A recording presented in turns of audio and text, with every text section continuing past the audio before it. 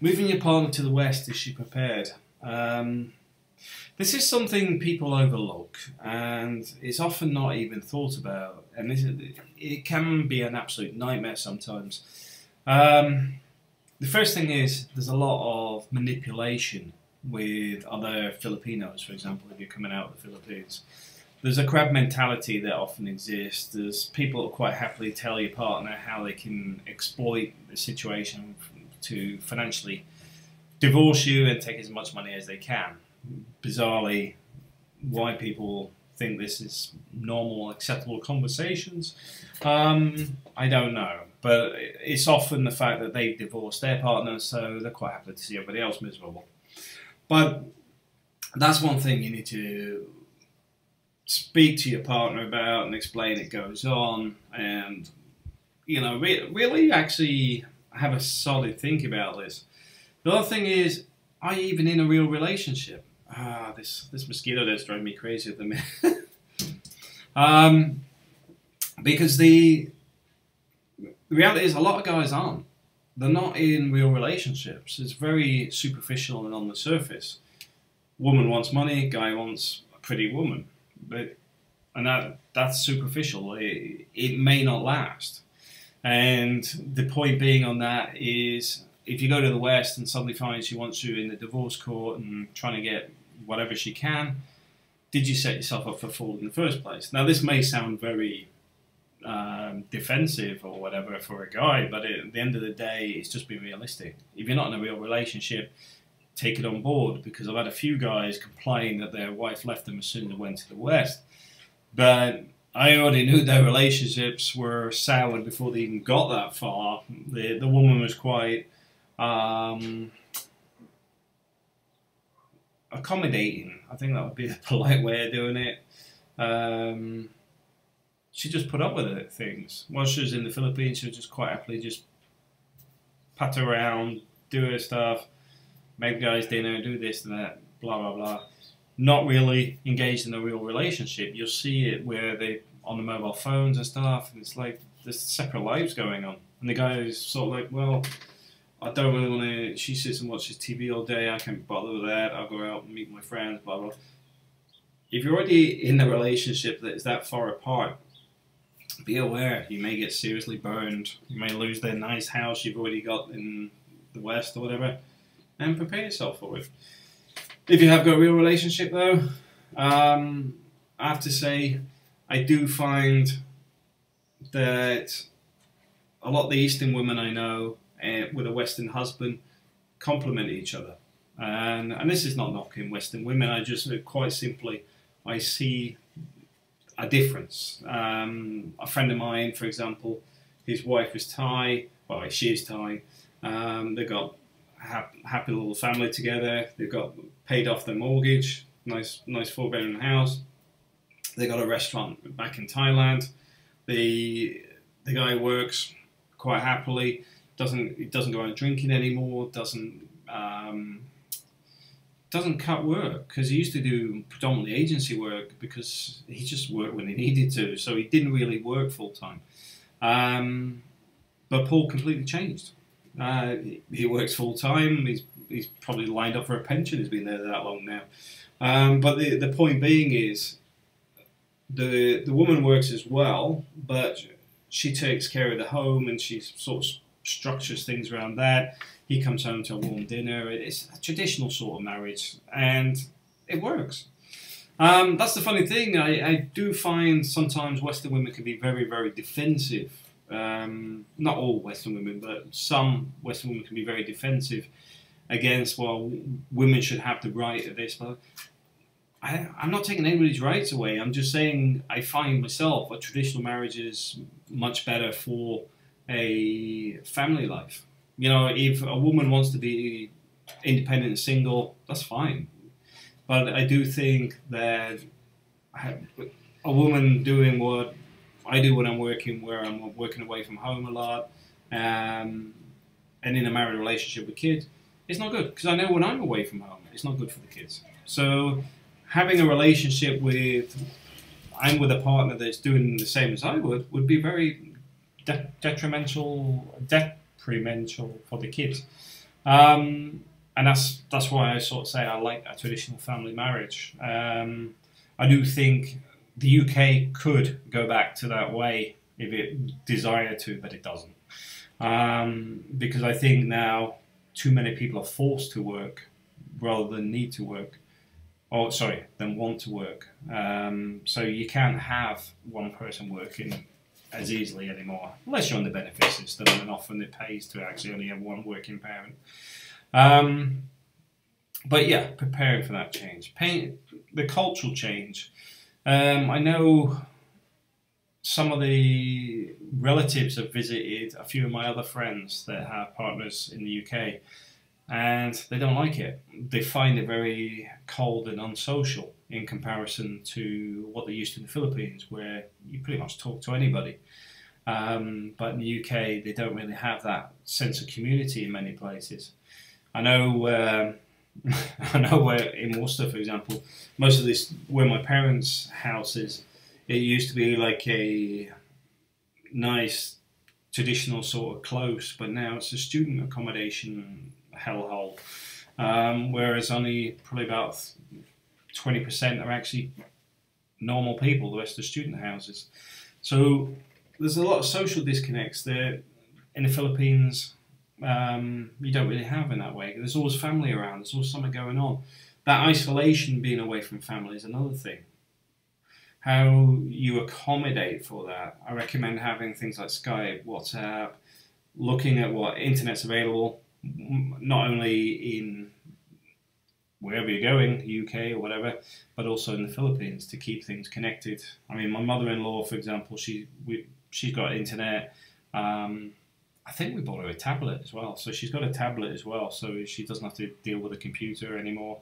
Um, and you keep things connected. It's important. Filipinos are very family oriented, and I know some people say, "Oh, they're like this or that." If you see the way people are when they're together, it doesn't matter how awkward the situation. They generally get on. The same as when the I remember I was at a factory in Worcester. There was a, a Filipino guy there, and I, I just mentioned that my wife's from the Philippines, and I'm just just in the UK for a few months so a while back, and instantly, big beaming smile, and he was treating me like as if I was his long lost brother or something because there was a connection there, and I find that with a lot of Filipinos. There, there's a strong connection. The same when I was in Dubai uh, the guys at the hotel, well, they were Filipinos that were doing all the um, refilling the coffees and things like that. They were like, "Oh, you're from the Philippines," blah, blah. and they, you know, like you normally only have like two coffees, two teas, or whatever. And they're like, ah, "There's twenty teas," and they, and they were making sure my whole stay was like overfilled with all these extra things that I don't normally get, um, just because they're like, "Ah, oh, you're our friend," you know. That was the same and the airport with 18 suitcases, but that's another story. Um, but the point being is there's a strong connection there. There's a family connection, and it's important you keep that alive and recognize it because it's very easy for somebody to get to a new country and not even think about this stuff, and then suddenly, bang, what do I do now? The, the same happened to a friend of mine uh, out of China because uh, she she was a Chinese student. She got to Birmingham Airport and she got the train, got into Birmingham uh, New Street Station, the train station, the main train station, and then she just cried as soon as she got off the train because she suddenly just like, I'm here. Now she hadn't even booked any accommodation or anything yet. She literally she was starting at the university, one of the universities there, um, but she literally just hadn't even thought about it everything's all happy about this trip, and then suddenly she sat on her suitcase at the train station, and suddenly it just hit her that she's in a new country. and she's got to find accommodation, she's got to find where she's going to study, and all this other stuff. It was just like bang, instantly. It's like, what do I do now? And that's the thing, these things do happen. You know, um, if you're not prepared for it, it can be quite hard for some people. Um, so there's those sort of things, and trying to keep connections going. One of the things I am a bit wary about is interconnecting with Filipinos that are in the UK or in the local community because, like I said, some of them are quite. It's um, the spider waiting to eat the fly. you know, you've got to be very careful on some of these people because they man- manipulate, especially if it's an older woman or whatever that, that your partner may look up to, and some people are very easily manipulated. Just be aware of that. Um, I've had a few conversations with people about it, and they've spoke to their partner about it, and they prepared them for it, and then it's happened, and then they've gone and told their husband, which is an important thing. If you're aware of it, and they come and say, "Look, you you wouldn't believe what she was telling me earlier," and then um, you're aware of it, she's aware of it, you can have a bit of a laugh about it because uh, you know it's going to happen, and then from there you can move forward because at the end of the day, you're already aware of it, but also your partner has been geared for it. So when this person starts saying these stories about or how they get treated and all this and it's going to happen to you, they're already aware of it. Because it's untrue, but the whole point is they're starting this story of manipulation to build trust. So just be aware of those sort of things. I'm not saying they always happen, but they, they do happen from time to time. Um, I have to admit, in Spain, everybody we know is pretty good. Uh, we haven't really had that, but then again, everybody we had come and visit us. Ninety percent of them we already know from the Philippines, but the other ten percent are in solid relationships. You know, they're they're married, got kids, or they're they're in an older age group where they're already settled down. Because often a lot of these problems are with the women in uh, you know below thirty. Um, what else do you have to think about? Work. You know, in the UK, often everybody works. As I mentioned earlier, it's one of those things that a lot of people think you're going to go to the West. The, the, the pound's bigger than the peso. You, you, you've got so much money. Yes, the bills are also bigger than the peso, but no, that doesn't come into it. Over the head, don't think about that. You have to train people to lie as well in some ways. Um, it's not bad lies. It's what I call sort of well white lies. Um, you just don't tell people how much you really earn, or if you are earning, you turn around and break it down a bit so that the expenses are a bit higher. So people are sort of broken into the fact that you're not an ATM. Um, because they, they don't see it as the same monetary value because there's no connection there. You know, if you turn around and say you earned the equivalent of, say, 50,000 pesos in a week, or uh, even 20,000 pesos, they're thinking that's a, that's a lot of money. And, but it's not. You know, you know, not in the UK, it's not. But at the same time, they don't understand that your electric bill's higher, your water bill's higher, your rent's higher, your mortgage is higher, etc., etc. Because they're not listening to that. They're not interested in that. All they hear is you earn lots of money.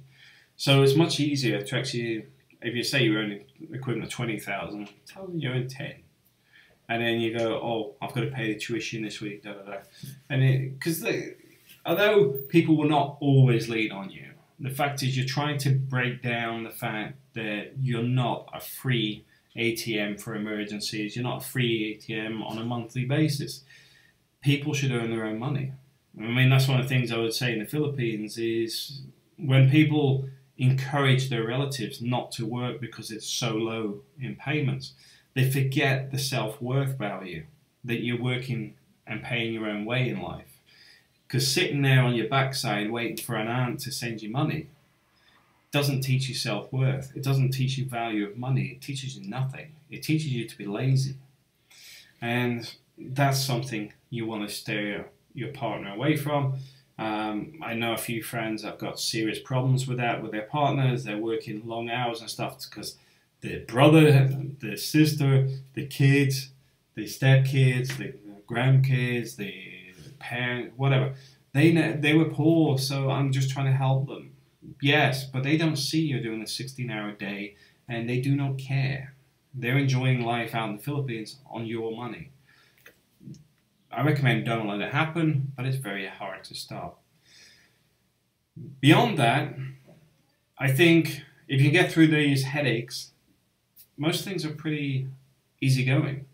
Uh, finding work, there's always work available. Um, depends on the skill sets, but often a lot of the jobs I know, the people I know from the Philippines do, they're content doing them. Where often somebody from the UK wouldn't even want to do it, um, but because they have a a purpose, you know, at the end of the day, working on a production line, for example, would drive me insane. You know, I'd absolutely hate it, but I know people that sit there, you can hear they're humming away, enjoying it because they're, they're thinking about their kids, they're thinking about, oh, I'm going to buy this this week, I'm, I've got to phone my mum later, and all this sort of stuff.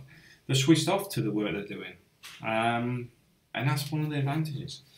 So, yeah, and one of the things I would say is encourage your partner to work because it's for their benefit and your benefit. Because if they've got their own money, they can make their own decisions, it cuts down on the arguments, but also they can help support the bills as well. Thanks for watching.